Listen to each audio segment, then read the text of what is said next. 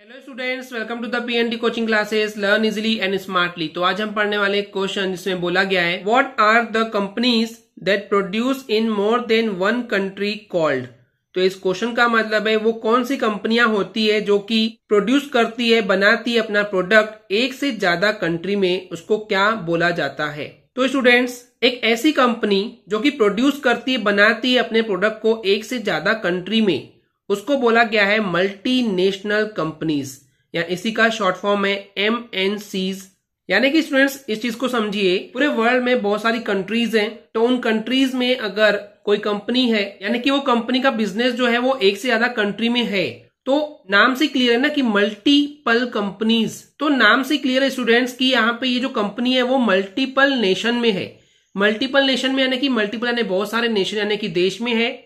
तो इसीलिए इसका नाम पड़ गया मल्टी नेशनल मल्टी मतलब कि बहुत सारे। नेशनल यानी कि कंट्रीज़ में, देश में या नेशन में वो कंपनी काम कर रही है या उनके प्रोडक्ट जो है वो बनाए जा रहे हैं। इसलिए ऐसी कंपनी जो कि अपने प्रोडक्ट को प्रोड्यूस करती है एक से ज़्यादा कंट्री में, एक से ज़्यादा नेशन में तो इसलिए उसको बोला जाता है मल्टी नेशनल कंपनीज़ या M N Cs multi national companies okay? Clear है स्टूडेंट्स आई होप स्टूडेंट्स आपको एक क्लियर हो गया होगा। अगर आपको हमारी वीडियो से कुछ भी सीखने मिला या नॉलेज मिला तो प्लीज़ हमारे चैनल को सब्सक्राइब कीजिए एंड वीडियो को लाइक ज़रूर करें। आज के लिए इतना ही।